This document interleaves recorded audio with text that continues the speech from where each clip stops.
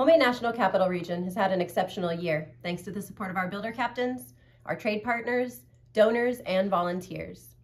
We completed our very first project in our nation's capital, hosted 10 care days, distributed hundreds of backpacks, collected over 250,000 diapers and wipes, and saved our nonprofit partners over half a million dollars in construction costs. HomeAid's impact in this region doesn't happen without your generous financial support. We count on people like you to click on the donate button below and give to ensure that we close the gap on our projects, our budget remains balanced, and that we can continue to provide critical services to our nonprofit partners.